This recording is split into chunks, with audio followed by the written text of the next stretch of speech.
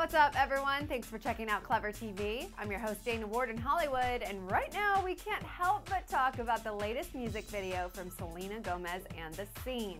It feels like we've been chatting about Hit the Lights for quite a while now, probably because the track itself rocks, and the star has been releasing little sneak peeks and previews from the shoot for days. But finally, SG premiered the music video officially, and it seems like a really fun storyline. We're taken through day to night, and everyone is hanging out during the day. There are a ton of beautiful outdoor shots, and we get to see other people hanging out with Selena. They're walking through open fields, and it's really fun to see them running with giant balloons. We counted almost 10 different fashions for Selena. I mean, completely different makeup, clothes, and hairstyles. In fact, we already heard from the artist and reported that she cut her hair mid music video shoot. Crazy, right? By the end of the pop dance song, someone has hit the lights because there are a ton of night shots and it's a giant party scene that we really want to be a part of.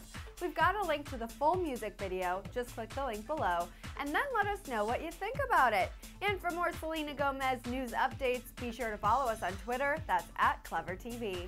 I'm Dana Ward, see you later.